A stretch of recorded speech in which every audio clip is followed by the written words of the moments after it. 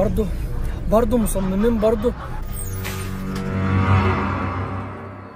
تعالى بقى قبل ما نطلع فوق الأول كده ناخد المقطعتين دول معانا علشان ما نطلعش عليهم كده بإيدنا فاضية برضه يبقى إحنا في كل يوم بنطلع فيه بناخد حاجة معانا وما بنطلعش.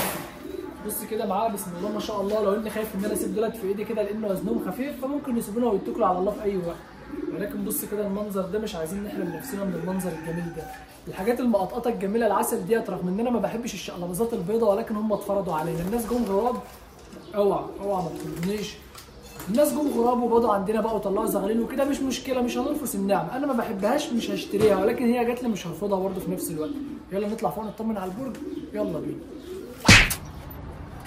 بسم الله الرحمن الرحيم. الله حبايبي انزلوا بقى على بيتكم الجديد. يلا. اتفرجوا كده على المكان وعلى الحلاوة. سيبكم بقى من شغل السلكات اللي كنتوا فيه دي بقى. اتفرجوا بقى هنا هياخدوا راحتهم. هنا هيطيروا. الواد ما خلاناش اكمل كلامي ماشي يا محترم. النتاية هي اللي هتقعد معانا. نخلينا نكمل الجملتين اللي عايزين نقولها هنا بقى هياخدوا راحتهم. هيقعدوا بقى يفردوا جناحهم كده ويلفوا في قلب البرج. ما كانوش بقى شغل السلاكة اللي كان تحت ده. امشي امشي. امشي هو واحد يطير واحدة تعمل حمام.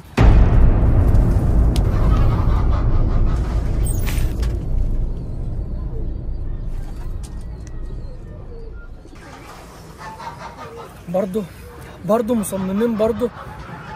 يبدو كده إن إحنا هنعوز نقفل الباب هو كمان. أنا مش عارف مش مكفيهم كل الفتحة اللي في الشبكة ديت مصممين يخشوا من الباب. آه ما أنت عامل خشب جديد بقى. لازم يخسروك لازم يخسروك ويهدروا في الخشب ويخلوك تجيب سلك. بس ماشي. برضه مش هشتري سلك وهلمها من كل بقعة في البرج. يلا بينا.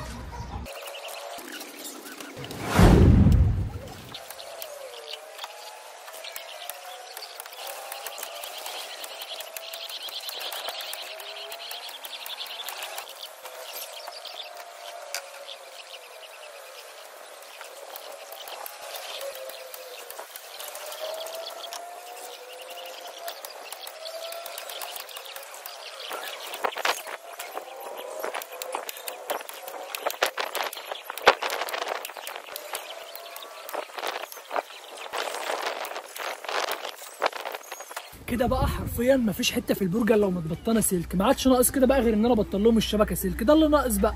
بعد كده لما يجوا يدخلوا مش هيلاقوا حتة يدخلوا فيها غير من الشبكة نقوم مبطنينها سلك. يبقى كده خلاص بقى جبنا القضية بتاعة البرج.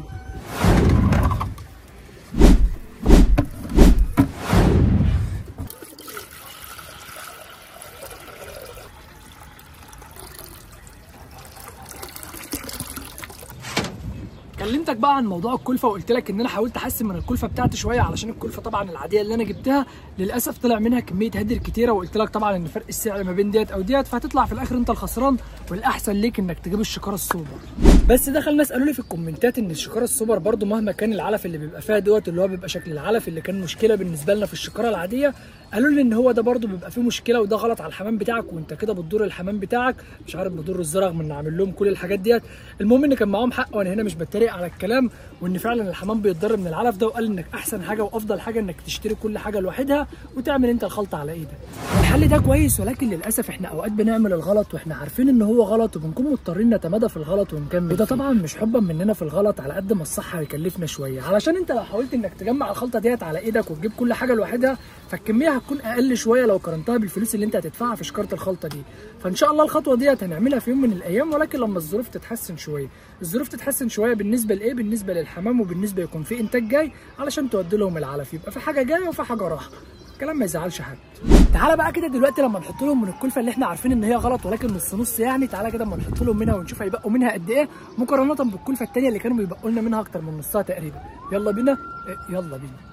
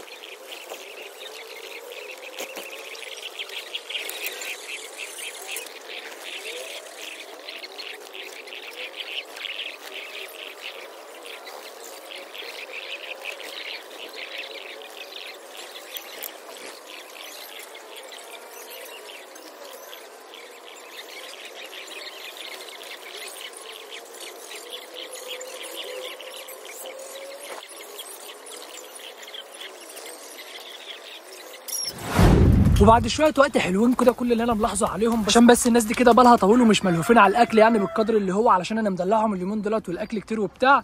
المهم يعني اللي أنا لاحظت عليهم إن هم ما بينقوش حاجة معينة واللي هم نازلين على الأكل كله ولكن يمكن بس الذره الأصفر هو اللي كتير معانا شوية. تقلانين عليه هم ولكن لما الجوع هيقرصهم هياكلوا كل ده. بس الحمد لله يعني اللي مش بقى معانا زي ما كان بيبقى معانا في اللي قبل كده. وده كان بالنسبة لحالة البرج وحالة زغلول البرج إن شاء الله والحالة اللي هو فيما سيكون بعد كده إن شاء الله لما الزغلول اللي جوه في الحاجات دي تطلع والحمام اللي محبوس ده يطلع هو كمان. تبدأ بقى المجاعه تحصل يبدأ الأكل طبعا يبقى فيه لهفة عليه. إن شاء الله يعني الأيام اللي جاية كلها خير بس مجرد ما الزغلول دي تجمد شوية كده ونبدأ نفتح البيبان اللي قدامك دي كلها لأن أنا ما بحبش ابدا حبسة الحمام اللي أنت شايفها دي. ولكن إحنا مضطرين عليها بس علشان نحافظ على الزغلول اللي جوه ديت علشان ما فيش ذكر يخش يضرب زغلول علشان برضو الحمام الكبير دوت بس ياخد فترته اللي هو يعرف إن الباب ده بتاعه خلاص ويعرف إن المكان ده ملكه وما يسمحش لحد إن هو يخش على الزغلول بتاعته فين. فإن شاء الله كل اللي جاي خير. تعالى بقى ننزل كده نكلف اللي تحت ونطمن عليهم ونشوف الزغلول اللي موجودة إيه ونشوف إيه اللي كان هيطلع معانا النهارده وإن شاء الله اللي أنا فتحت له البيضة بتاعته شوية الصبح كده تعالى اما نطمن عليهم. ولكن للأسف هو في بيضة هتطلع وبيضة مش هتطلع. طب بتاعت أنهي جزء هو ده اللي هنعرفه دلوقتي ويلا بينا. جوز هيطلع بيضة وبيضة لأ أو الجوز دوت علشان نسهلها على بعض شوية كمان ليه زغليل في البرج فوق. هنا اللي ليه زغليل في البرج فوق وهيطلع بيضة وبيضة لأ؟ لو جينا مثلا على الحاج هنا برعي ولكن برعي ملوش زغليل في البرج فوق. وبرده في نفس الوقت برعي معاه الزغلول هنا هو بسم الله ما شاء الله. حاجة كده عسل قمرايه ومستنيين نشوف اللون بتاعه هيكون عامل إزاي. يبقى كده برعي خرج من جوه دايرة الشك. طب لو جينا عند الجزء الحلو المقطقط دوت فهو ما لحقش يعني يتسمى ويتقال عليه إن زغلوله طلعت البرج فوق يعني لسه طالعين دلوقتي ما كملوش ساعتين على بعض. فيبقى ده برده طلعه من جوه دايرة الشك. ممكن نيجي على الجزء دوت هو فعلا زغلوله طلعت البرج فوق ولكن لو جيت تدور كده وتدقق في الموضوع أكتر هتلاقي إن زغلوله ما طلعتش البرج فوق لوحدها ده غير إن ده مش بايظ. طب زغلوله طلعت البرج فوق مع مين؟ مع الجزء الحلوين المقطقطين دول. الجزء الحلوين المقطقطين اللي قدامك دول. شوف برضه شوف برضه. يا وليه كني كني اوعى. شوف برضه شوف شوف شوف شوف, شوف بتعمل فيها إيه. وبعدين وبعدين هندخل برضه ونجيب البيضة اللي مش هتطلع. هي دي بقى اللي عندها البيضة اللي مش هتطلع. هفضحك بقى وعلي بقى كده. هي دي اللي عندها البيضة اللي مش هتطلع يا جدعان. اوعى كده سيب الإيد دي الإيد اكتفت خد الإيد التانيه اوعى بقى ميلي لي كده. اوعى بس ميل ميلة عشان ما زعلكيش مني. اوعى. شوف برضه وبعدين. طب وبعدين واخرتها وأخرتها ما كنتش شطرت على البيضة نمت عليها كويس. كنت نمت على البيضة كويس بدل ما بوظتها. طلع لنا بيضة وبيضة. لا اوعى يا وليه يا وليه اوعى الجوز ده الصبح اطلع بس أهو. استهدي بالله استهدي بالله. الصبح الجوز دوت أنا جيت بصيت على البيض بتاعه لقيت في بيضة منقرة كده والزغلول بدا يطلع إن شاء الله. علشان كده نقرتها شوية بسيطة كده بضفر. بص نقرتها دايرة بسيطة بضفر كده والبيضة وأنا ماسكها دلوقتي. سامع التنقير جوه عمال بيسمع معايا. أما بقى بالنسبة للبيضة التانية ديت فللأسف هي دي اللي مش هتطلع. والبيض دوت في التجديدات كنت كشفت عليه وكنت عرفت إن البيضة ديت مش هتطلع ولكن كنت بكدب نفسي. يعني قعدت شككت في نفسي كده وقلت لأ أكيد أنا اللي مش عارف وأكيد وأكيد وسبتها على أمل إن هي تطلع يعني إن شاء الله. ولكن للأسف البيضة ديت مصيرها معانا إن هي مش هتطلع وهوريها لك بالكشاف دلوقتي. وهنسيب لهم البيضة دي لوحدها علشان يعرفوا يهتموا بها إن شاء الله ويهتموا بالزغلول اللي طالع. خد يا أخت خد انزلي الشطاره على الزغلول. الذكر المحترم هو اللي نايم لكن انت طبعا يعني عماله إيه بتشاكل وخلاص ومش هاممها أي حاجة خالص. أما بالنسبة للناس الحلوين دولت فلسه عندنا هنا جزء المفروض هيطلع معانا البرج فوق وبكده يبقى هنقول إن كده خلاص بح ما عادش في حاجة في السل... في السلكات هتطلع البرج فوق دلوقتي لأ. غير إن شاء الله لما المقطقط الصغير دوت تعالى اما نبص عليه من قريب برده لا هي فيها كلها بقى بتضرب ولا إيه؟ أوعى بسم الله الرحمن الرحيم. بص معايا على الحلاوة وعلى الجمال. معرفش هو جاب البوز الأسمر منين بس مش مشكلة. يعني جاب الوش الأسمر منين وأبوه وأمه الوش بتاعهم أبيض. آه يلا يلا مش مشكلة. الاتنين بقى مش بتوعنا في إيه؟ عادي. وريني كده بس شكل اللون بتاعك حاسك هتبقى ملبط في الألوان. طيب ربنا يسترها كده لما يبقى يطلع. نبدأ نشوف اللون بتاعه كده إيه؟ واضح كويس إن شاء الله. نقدر نحدد ونقول هيبقى عامل إزاي. عندك هنا بسم الله ما شاء الله. الزغاليل ديت ما طلعتهاش من قلب السلاكة بتاعتها من يعني من أول ما اتولدوا من أول ما طلعوا من البيضة. مش هقول لك من ساعة ما كانوا صغيرين. تعالى كده بس معانا. بص بص, بص.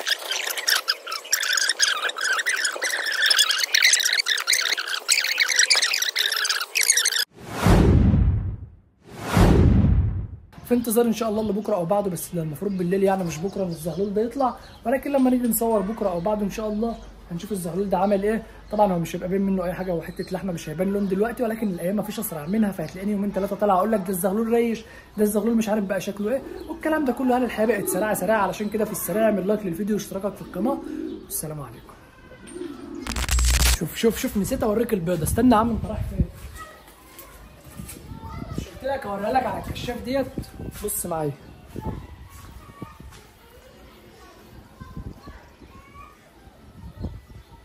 مش مبينة هنا قوي علشان الجو نور بس استنى. هجيب لك الغرفة الهوائية بتاعتها دلوقتي وأوريها لك. لو قلنا كده. أهي. بص. اتفرج. شوف اللي جواها عاملة إزاي.